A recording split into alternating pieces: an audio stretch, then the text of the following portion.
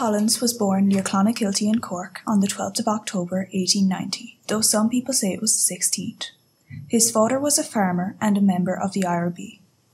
In 1916, he fought beside Patrick Pearse and other members of the Rising as Count Plunkett's financial advisor.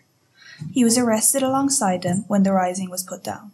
In the 1918 general election, Collins was elected as an MP, but like the other MPs elected, he did not take his seat in the House of Commons. He was then appointed as the Minister for Finance in the first Dáil. He was engaged to Kitty Kiernan around 1921-1922 and made plans for a normal family after the war.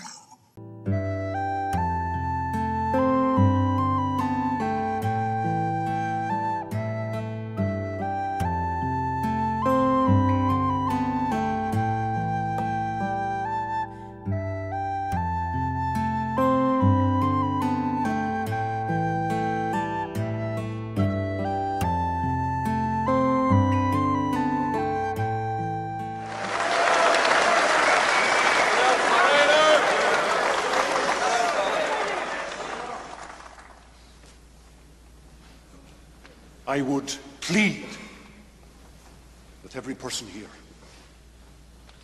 Make me a scapegoat, if you will. Call me a traitor, if you will. But please, let's save the country. The alternative to this treaty is a war which nobody in this gathering can even contemplate.